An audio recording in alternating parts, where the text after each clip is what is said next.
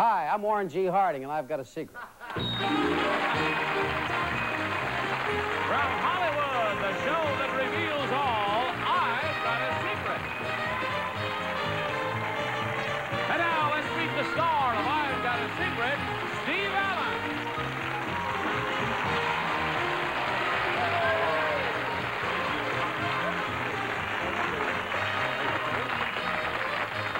Good evening. Thank you. Welcome to I've Got a Secret. Tonight's panelists are one of America's favorite comedians. I just put a colon in there, you see. Pat Carroll. The well-read, well-informed, and well-nigh impossible sometimes, Henry Morgan. The lovely and very clever actress Anita Gillette. And a chap who's very bright and a bit of all-right comedian Richard Dawson. Yes. Thank you. That's our panel. You know I'm getting to hate him. And now we might as well see if we can find a contestant backstage.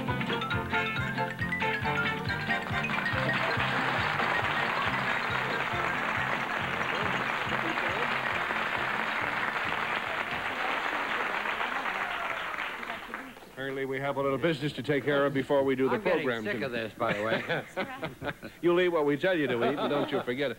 What is your name, sir? John Tartaglia, Where are you from, sir? Sherman Oaks.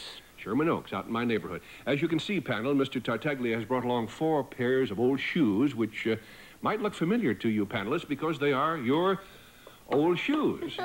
Never you mind how we laid hands on them. Running from side, left to sideways here, we have Pat's shoes, and these are Henry's slippers, and these are Anita's, and these are Richard's, as you might assume. Mr. Tartaglia's secret concerns something he will assist you panelists in doing, which of course involves these shoes. If you'll whisper the details to me, Mr. Tartaglia, if you start now, we'll be whispering at the same time. Anyway, we'll let the audience know. Either that or we'll bump heads. I don't know, one or the other. We'll let the audience know what it is you're going to do. what was that again, sir? Oh, tell me more, would you please? I see.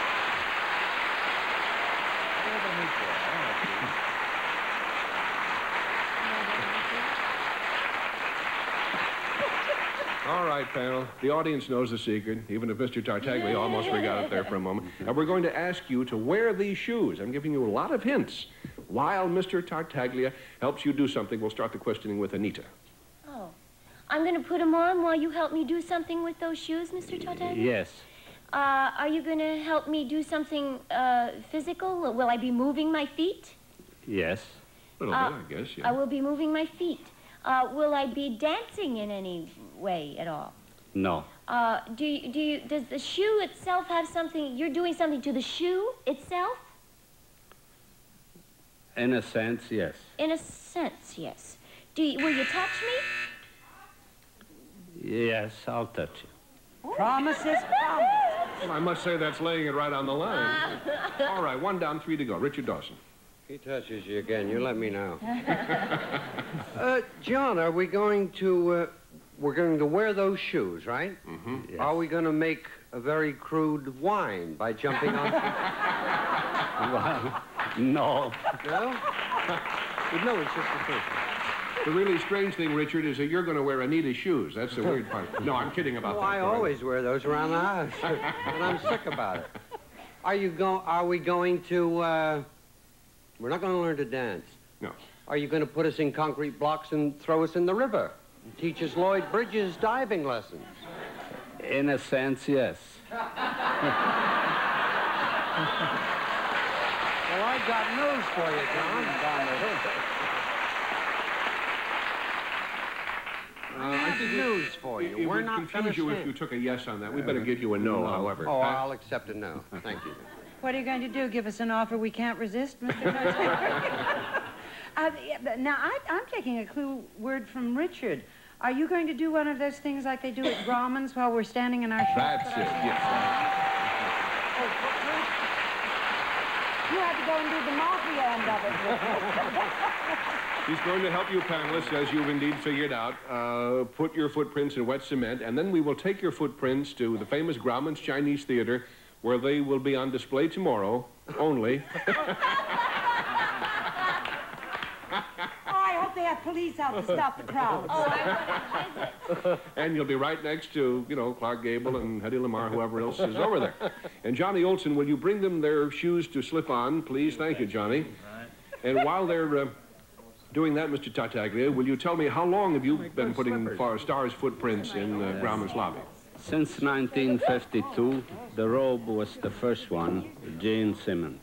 The robe is the name of the movie. I Yes. thought you put somebody's robe in cement for No, and you wouldn't recognize it if you did. Uh, how did the theater itself get into that thing? during the construction of the, the theater, uh, Grauman uh, invited some of the actors, uh, Douglas Fairbanks Sr. and Mary Pickford and Norma Talmadge. Mm-hmm. And uh, uh, they're stepping off the, the car. Step out of the car into some wet cement? Mrs. Talmadge, she stepped in a... By accident? By accident in a rough cement, and she kept walking, and that was And that's how it started- Many a great discovery has happened by accident. Well, Mr. Tartaglia, if you'll step right over there, I think you can get right down to business because the panel is ready to have it happen.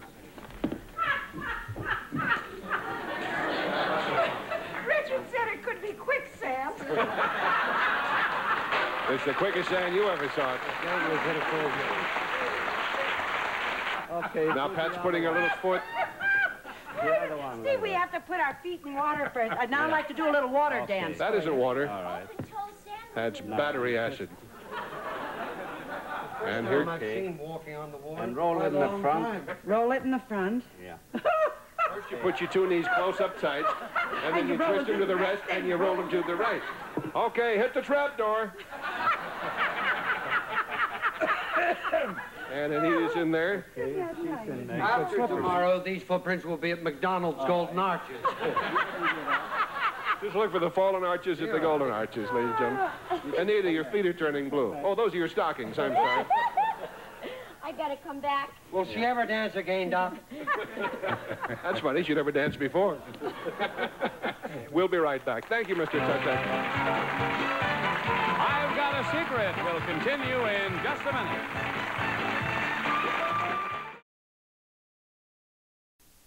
And now let our next contestant be found behind the Great Wall.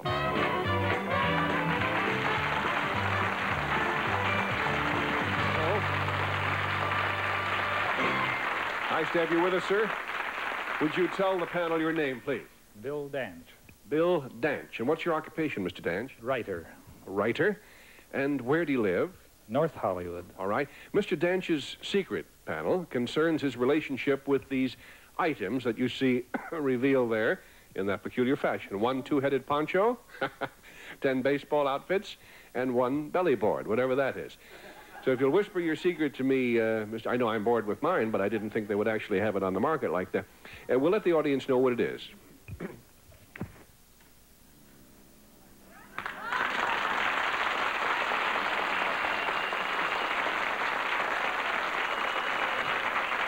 Okay, panel, the audience now knows the secret, which concerns Mr. Danch's relationship to these items you see named here. We'll start the questioning with Henry. Uh, I pass. All right, I'll catch. You have a relationship with a two-headed poncho. It's an unnatural. It's the plot for an X-rated movie, actually. he likes his two-headed poncho. He doesn't have a relationship with it. Is, uh, is Marlon Brando in it?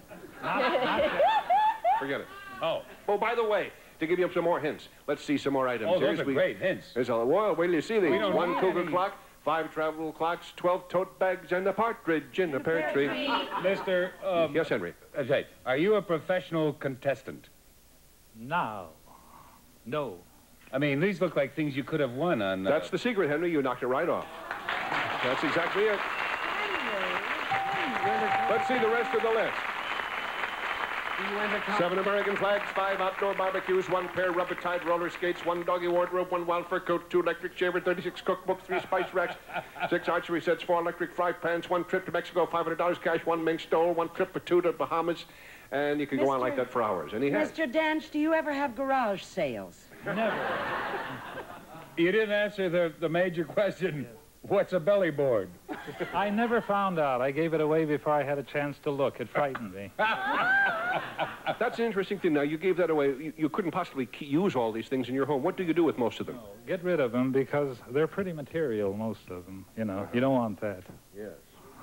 How do you, do you have a secret that, Yes. how you uh-huh. win Yes. Yes. Yes, as a matter of fact, good, good that you asked that because Johnny Olson is just bringing on stage some demonstrations of uh, what you might call Mr. Danch's secret in that he, he knows how to attract attention in the old mailbag. Is that the point, Bill? Yes. The, uh, the key thing is bad taste. You must have that. That's because it's on television, you see. You must be different. You see, everybody enters on three by five pieces of paper, so you look at 20 million of those, and it's too much. And so you try to get different colors and uh, eye-catching things and uh, make them feel a little sorry for you, like uh, a bad copy of a dollar bill on something, the American flag so you offend patriots, and uh, a hippopotamus with mouth open. But you must be different, and that's the whole secret. It's very simple. That's a great, that's very ingenious. Clever idea. Attract I mean, attention. Somebody just reaches in a bag usually and pulls out something. That's how they do it.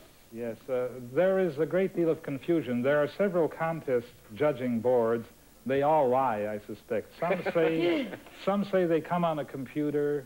Some say that the girls just pick them up. Usually, I think girls just pick them out. Otherwise, I couldn't have won all these because I've never won a local raffle. I've never won the Irish sweepstakes, and yet I win in these things. So you say it wouldn't be luck, really. It would be intelligence. no it luck, would be your luck. thinking uh, along these lines that would make thinking, you a winner. Yes, Good bad thinking. good bad thinking. Yes, Richard? I am now going to be the next second biggest winner. You know why? Everyone that will see the show will copy your idea, and I shall send my question and answer in on a three by five white postcard. Thank you, Richard, and thank you, Mr. Danch. Congratulations to you. Always lucky with idea. We'll be back with our guest star, Frank Gorshin, right after these messages. Interesting. I remember him. Anyway, now let's meet tonight's guest celebrity. He's an actor, a singer, a comedian, impressionist. He's everybody in our business. Mr. Frank Gorshin. Here he is.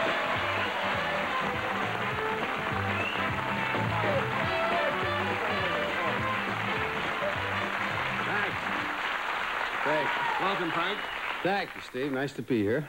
As you can see, the panel's chairs are empty. They Where did the panelists go? They're off in a soundproof room, which permits you to tell us all that you're up to tonight. What's your plan? I, uh, first of all, I, I- I'm a pretty good friend of one of your panelists, Anita Gillette. Oh, yes. Yeah, about four years ago, she and I had the pleasure of opening on Broadway in a show called Jimmy.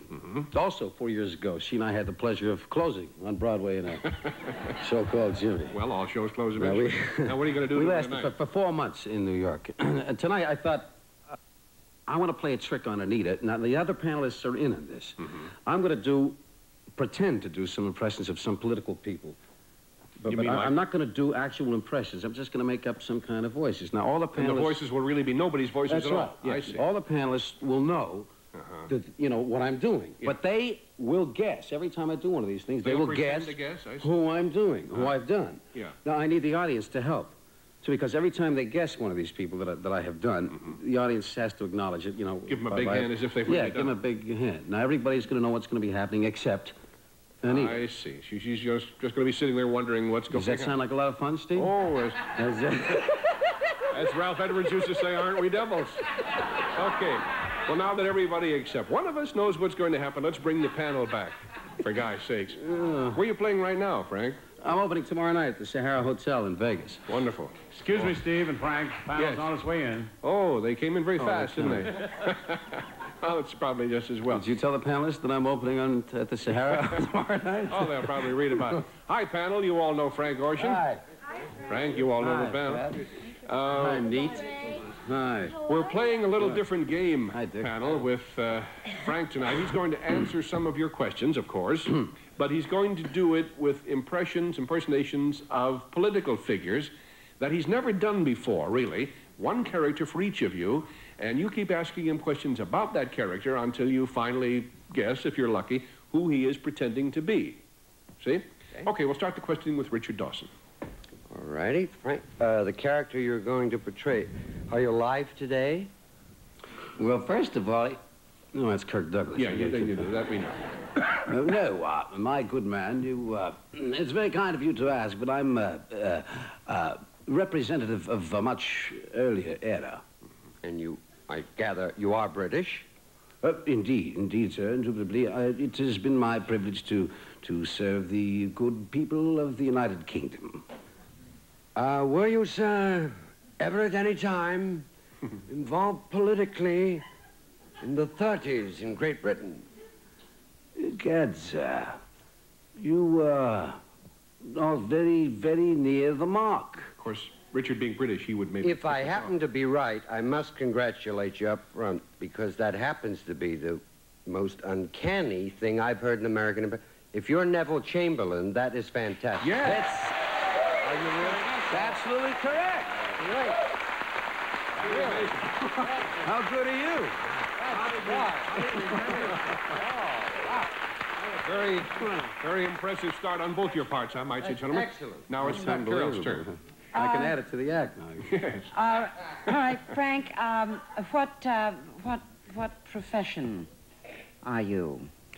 Uh, now you uh, are asking me what profession. Uh, I uh, I am in the, the field of uh, I say I am in the field of politics. In the field of politics. Have um, are you in teeth politics? uh, have you been in politics long? I have been born and bred, born and bred. I say born and bred through and through, uh, little lady. There is no mistaking the southern accent Yeah, and a the loose dentures. Don't make me laugh. And I would say, were you from the grand and glorious state of Louisiana, where I was born? Uh, pardon me, ma'am. Were you from the grand and glorious state of Louisiana, where I was born? Well, you are surely correct, my little magnolia blossom. I say you are surely correct. Well, then, you Now- can only be one gentleman, Uh, Huey P. uh, Long. I-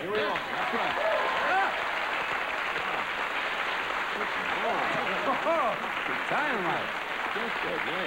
You're really amazing, Frank. you're- I don't believe me. Frank, that's a great impersonation. Okay, Henry Morgan, see if Thanks. see if you can get the next. Of course, Richard was you know from England, and, and Pat has the Louisiana background, so that, that was maybe a little easier. Let's see how Henry does. Is well, are you going to do an American uh, Uh, monsieur, I, uh, uh, let me, uh, Louisiana? let me at this point say that uh, my countrymen are are thoroughly familiar with the United States of America and have enjoyed uh, friendly relations for many, many years.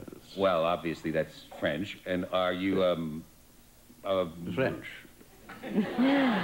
Well, we're in agreement up to here. Now, are you in politics in France? Because I think I hear a little overtone here. Yes, yes, I am. Uh, you, you you have a uh, very, uh, very delicate ear, monsieur. But he's not in I'm politics indeed in France, no. French Canadian, Yeah, not the in Big hint for you. Big hint. You're a French Canadian politician. Mm-hmm. I, I can hear it. Do do do do two more words. Uh, Pierre give me two Trudeau. words. Huh? Oui, oui. Uh, mais oui, mais oui, monsieur Henry. Pierre Trudeau. Yeah. Ma- mac- yeah, magnificent. That- That's fantastic. Very good.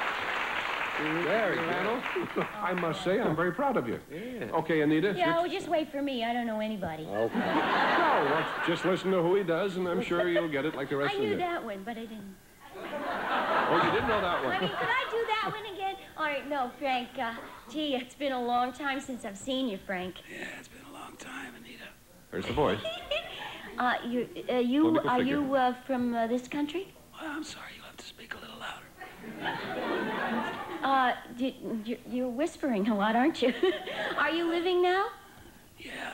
Yeah. call this living. You're living now, and you're in, you're in politics now. Yeah. You are. Uh, are you like a governor or something? Close. Close. Uh, gee, I don't know who whispers. All politicians I know shout a lot, you know. Um, are you are you hoarse because that's the way you speak? No, I, uh, I ski a lot. You ski a lot. It gets cold. It gets cold. Are a big you hint are for you you. up in Maine somewhere? That's Are you like uh, Muskie? No, he's a little husky, but he's not Muskie. Keep going. You, you may be getting close to it. No, I don't know anybody from. Who is that? I know the name now. Wait a minute. It, I mean, I know that. Is it on the tip of your tongue? I know that person. I can't think of. It. Wait a minute. Of course you know it. Listen, Wait a minute. What? Listen to me laugh. Maybe that'll help you. You know I it. don't. I can't think of the name. Oh, come on. No, I swear I can't. You won't. Oh, oh please. I You know it and you can't think of it. Is I, that I right? know, and I can't think of his name. I can see you right Well, I think. I think the wonderful thing is uh, about you is that your honesty impresses us in this, uh, this situation. I mean, you're just telling it, you know, the way you feel it. Is it on the tip of your tongue, Anita? No, it's back in my throat I see. someplace. I can't think of who he is. and I know that I know the Happens, that's the best uh, of all the imitations. That's the That's best the one. That's the best one of all, yes. Well, I guess we're going to have to tell her I'm sometime. sorry. No, you actually uh, acquitted yourself very well, Anita, because uh, Frank wasn't imitating anybody at any time. Now, you might think, well, how come the other three were guessing? That's because they were all in on it. It was a little prank on you. Little joke. Can I go over there and give it- Give her a kiss. Thank you, Frank Gorshin, for all those fantastic impersonations. I've got a secret returns after these words.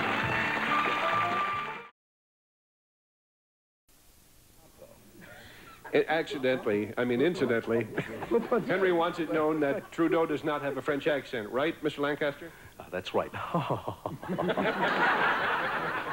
Hey, Frank, thank you so much. It's great fun to have you. Join us again soon, will you? hey, I'd love to. Thank you. Uh, thank you all, panel. Thank you. Ladies and gentlemen. Thank you, Stacy. Thank you, Clark.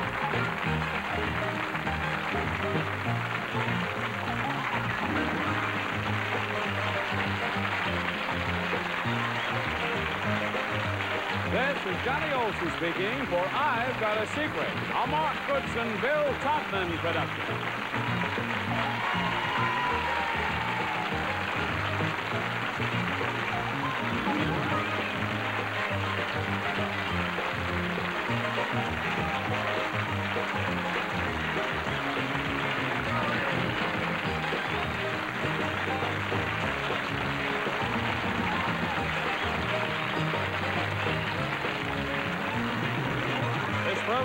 Recorded and edited for broadcast.